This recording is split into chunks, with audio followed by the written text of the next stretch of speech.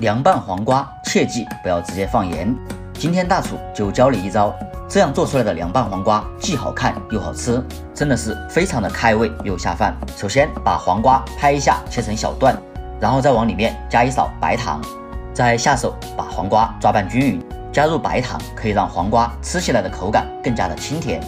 抓拌均匀之后，把冰箱放进黄瓜里冷藏十分钟。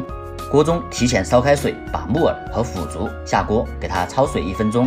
煮好之后，再用漏勺给它控水捞出，装进碗中备用。黄瓜腌好之后，再往里面加入干净的纯净水或者凉白开，把黄瓜里面多余的糖分给它清洗一下。我每天都在用心的教做菜，能点个小红心鼓励一下吗？感谢大家的支持。接着把腐竹和木耳放进来，切好的洋葱丝和小米辣也放进来，再加入一点蒜末，十八颗油炸花生米，再加入少许的香菜。好吃的关键是加入一袋这个麻香凉拌汁，夏天用它来做凉拌菜、凉拌黄瓜、凉拌藕片都是非常的好。随便给它抓拌两下就可以开吃了。用这个方法做出来的凉拌黄瓜真的是开胃又下饭，实在是太好吃了。你也快做给家人尝尝吧。